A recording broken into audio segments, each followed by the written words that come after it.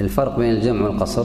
إحنا عندنا قاعدة مهمة لو نحفظها نرتاح بالنسبة للجمع والقصر. القصر للسفر والجمع للحاجة. احفظها. القصر للسفر الجمع للحاجة. إذا هل تقصر في البلد؟ أبدا. لأن القصر خاص بإيش؟ في السفر فقط هذه قاعدة الجمع للحاجة هل تجمع في السفر؟ نعم هل تجمع للخوف؟ نعم هل تجمع للمرض؟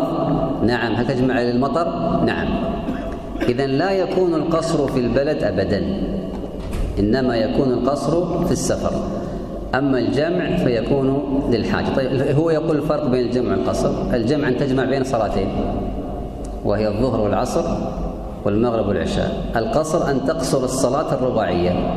يعني إذا صليت الظهر تصليها ركعتين وإذا صليت العصر ركعتين وكذلك العشاء ركعتين. أما الفجر والمغرب فليس فيها قصر.